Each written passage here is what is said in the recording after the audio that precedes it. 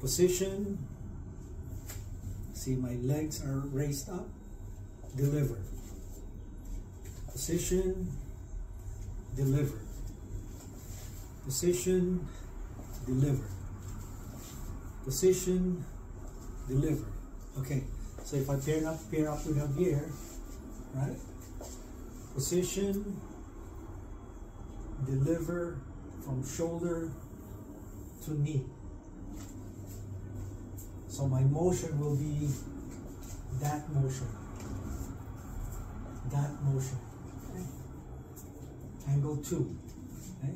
So if I hit angle two, hit, and I go position, Javier will hit me with angle two. Position, deliver.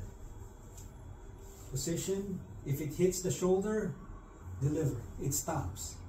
Okay, the target is usually Javier coming.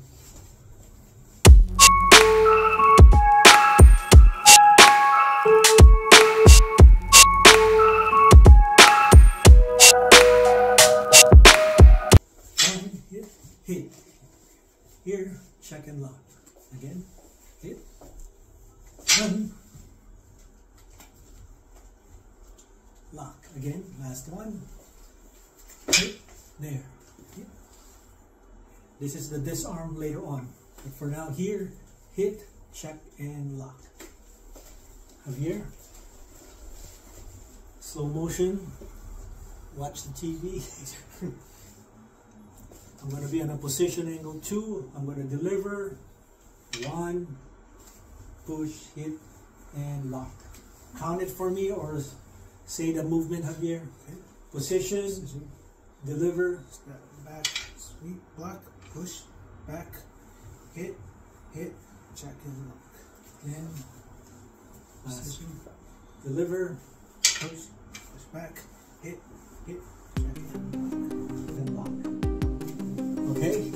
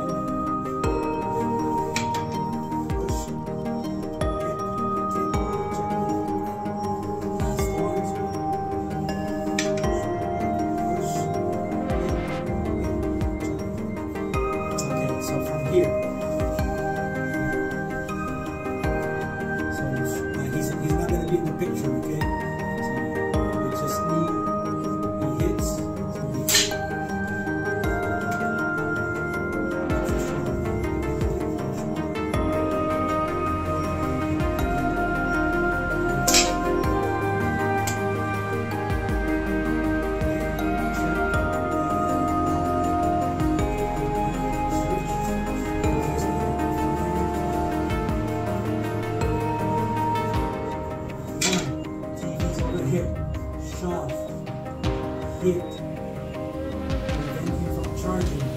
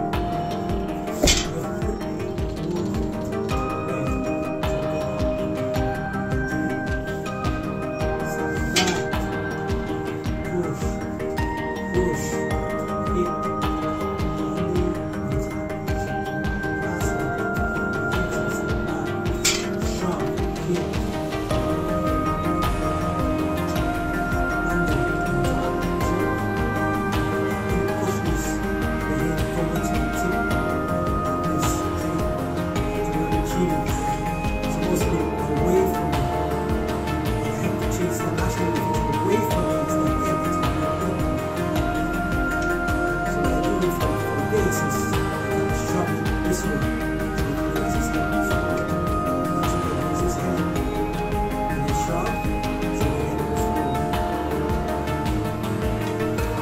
detail there that uh, it's a bonus so again um, that is uh, sweep uh, angle 2 uh, sweep this arm okay?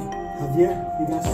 Yeah so let's see if Javier can do this angle 2 hit, count it, one, push back, hit, comes in, back, disarm, chamber into six count, one, two,